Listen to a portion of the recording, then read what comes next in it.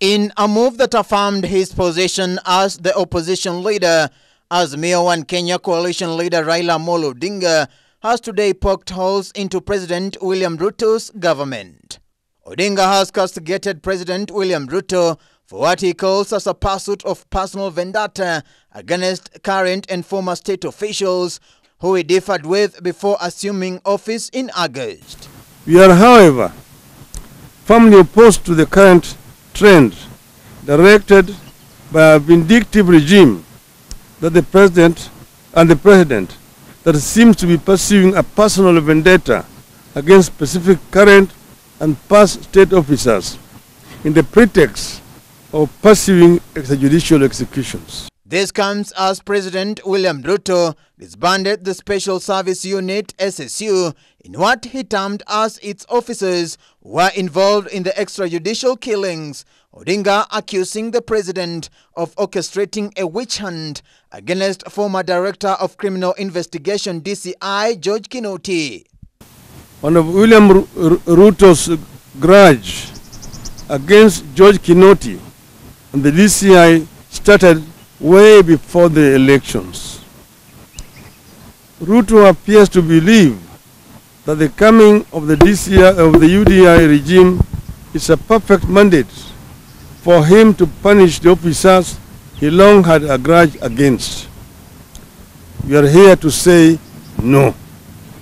The former prime minister went ahead to trash Ruto's fight against police killings as attempts to sacrifice state officers who, in the line of duty, have rubbed politicians the wrong way and who are now being selectively punished for having done their job. Ruto seems to be looking for some Indians whom he lost in the middle of the August elections. Those Indians were human beings. They deserve to live and we continue to pray for their families and hope that they will be found alive and that justice shall be done in their case. But we believe the Indians are not the first to disappear and they will most certainly not be the last if the past is anything to go by. So, as Mr. Ruto mounts a search for the Indians, wherever and whatever they were to him, we want an equally vigorous search to establish the truth behind their disappearance and death of tens of Kenyans, including the following.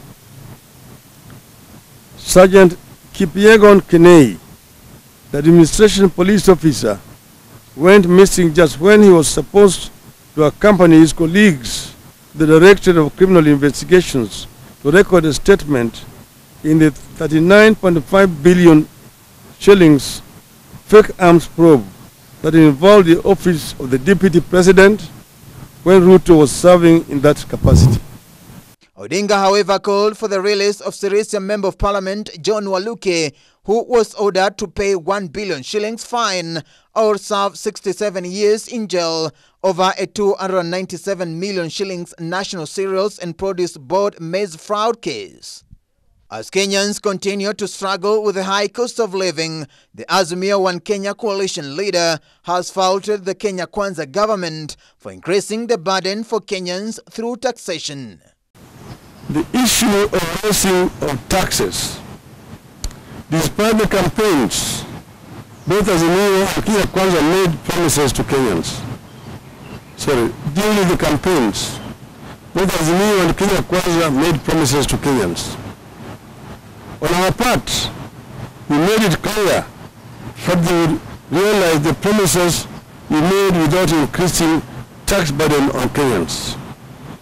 It remains our position that Kenyans cannot afford and should not be asked to pay extra taxes for the older regime to realize the outlandish and unrealistic, unrealistic promises it is pursuing. Davis Mberia. Ebru News.